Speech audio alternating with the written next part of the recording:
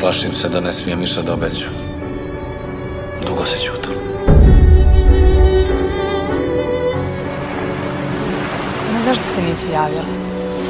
Barem jednim pismom. Dobro sam, ne brini. Pa nisam bila dobro. Neujače duhovi ne postoje.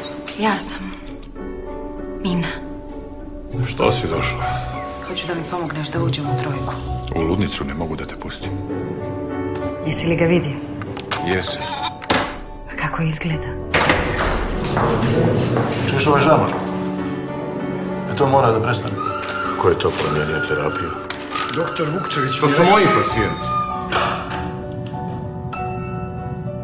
Kad bih mogla da izmijenim sobstveno sjećanje. Evo ga ide. Ko? Andrej. Vidimo se ovih dana, Mina! Šta se desilo? Andrej, kako ti je tata, brat? Dok je dolazio na svijet, ubio je svoju majku.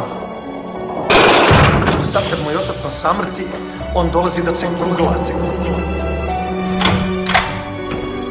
Želio bih, sine moj, da mi kažeš istinu. Drogiraš li se?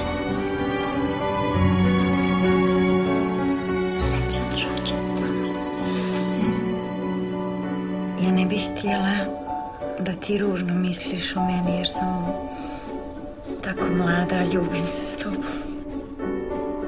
Doći će nam u posjetu moj sin. Nešto se dešava. Vukčević je ostao noćas iako mu nije smjena. Mislim da znaju da si tu. Ovo su ključevi od svih soba na klinici. Čak i od trojke. Draga moja, ovdje se ni zbog ubistva ne ide u zatvor. Ti ćeš da budeš u zatvoru. Zbog onoga što si...